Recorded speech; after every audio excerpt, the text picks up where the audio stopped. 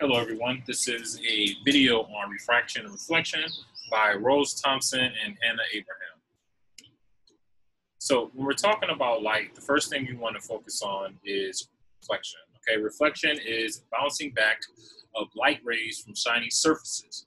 For example, a mirror is an example of reflection. The light bounces off of the shiny surface and then it comes back into your eye and you can see yourself. Examples of reflection, metal spoon, metal chair legs, mirrors when the TV's off, metal watches, foil paper.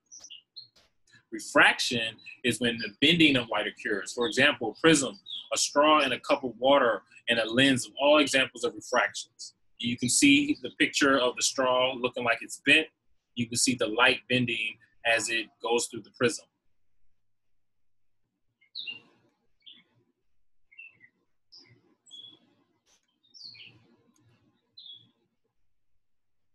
The difference between reflection and refraction is often reflection is the bouncing of light.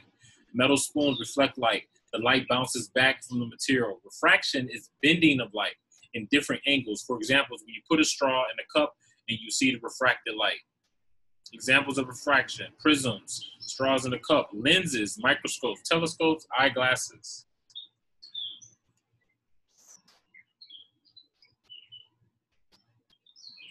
Thank you. So whenever you're dealing with refraction, you always have two different type of mediums, okay? And that is represented by the letter N. N stands for the index of refraction. And the index of refraction is just how thick the medium that the light is traveling in, okay? So an example of an index of refraction or index.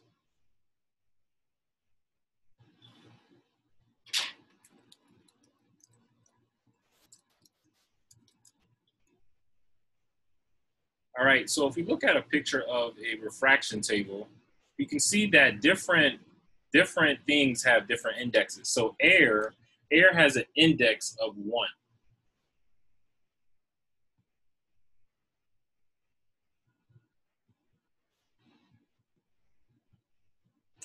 Uh, diamond has an index of 2.4.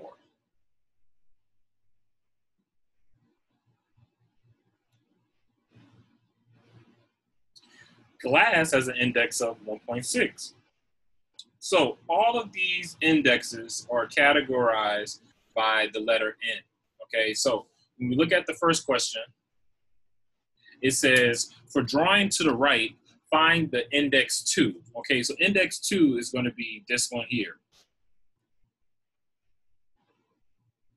All right, so with this index, we're trying to figure out what is the second index if they give me an index of 1.5 coming in, incident angle is 45, and the refracted angle is 65. So we're gonna pull out our simulator and put in those quantities. So what was the angle of the incident angle? It was around 45 degrees.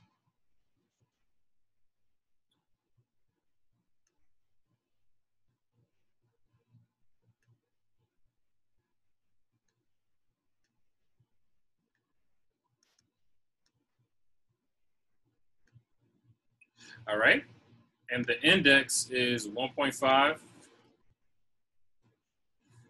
and what is the angle that's coming out. So we want to figure out what is the refracted angle here. So if we figure that out, then we can figure out what that index is. We can do that just by changing the index. So you want 65. So the closest index of that is 1.8. So the answer for number one is 1.8. For the drawing below, state whether the first index is bigger than the second index. The index second is bigger than the first index, or are they equal? So let's start off with C. So we see that the incident angle is coming straight down, and the refracted angle is also coming straight down. So if we were to make our indexes maybe the same, so let's say they're both one, you can see that they come straight down, and the refracted and the reflected angle are both the same. So then therefore, C would be N1 and N2 is equal. here you see that when the incident angle comes in, it gets refracted more. So is that where N1 is bigger than N2 or N2 is bigger than N1? So let's try N1 being smaller than N2. So if I make that bigger, you can see that my refracted angle is a lot smaller.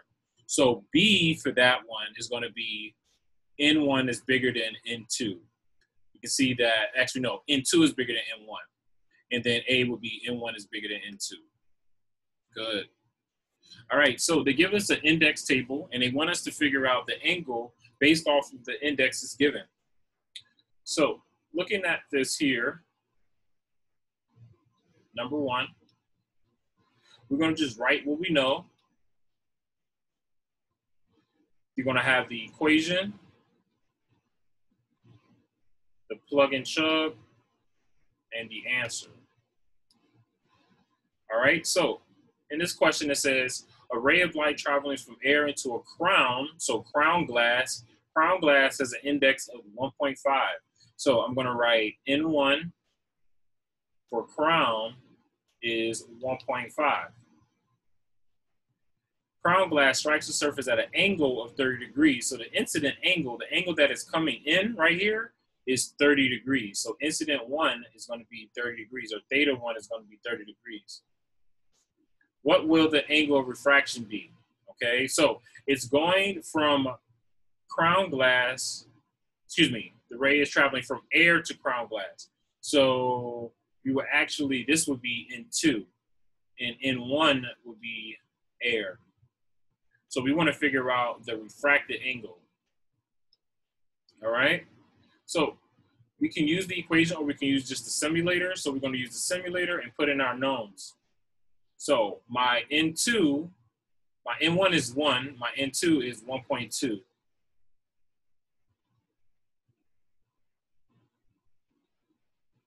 No, my N2 is 1.5, excuse me. All right. And my angle of incident was 30 degrees. So that gives me a, type 30. So that gives me a refracted angle of 19.2 degrees. So for number one, the be 19.2 degrees. All right? Let's do another example.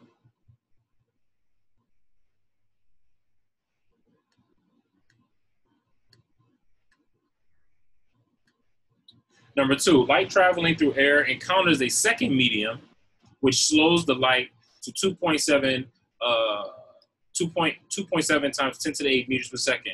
What is the index of the second medium? All right, so for this problem, we actually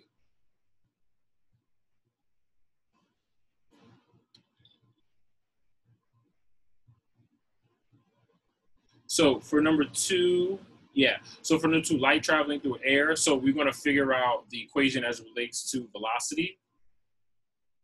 Actually, for those problems, you don't have to do number two or three. So don't worry about that. Let's do number four.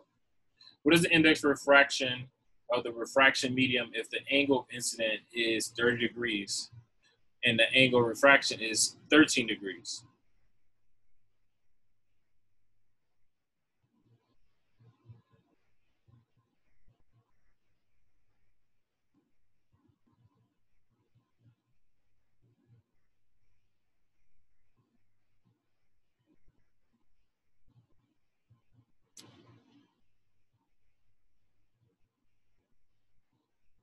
All right, so it says, what is the index of refraction of refracted medium if the angle of incidence is in air and is 30 degrees and 15 degrees? So for this problem, for number four,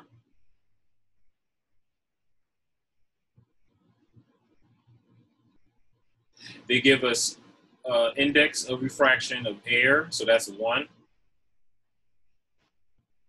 the incident angle and the refracted angle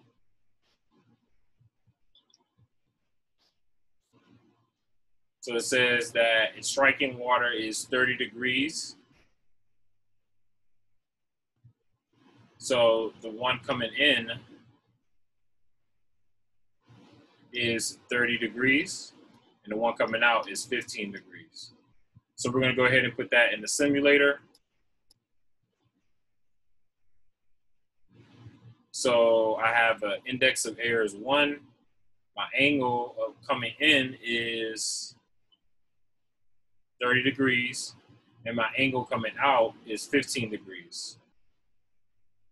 So I want to move it until I get to 15. So that index is 1.9.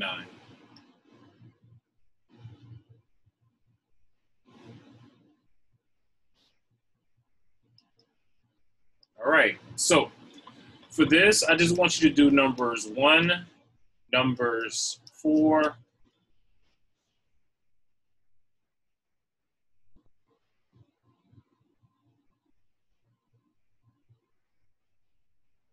number eight.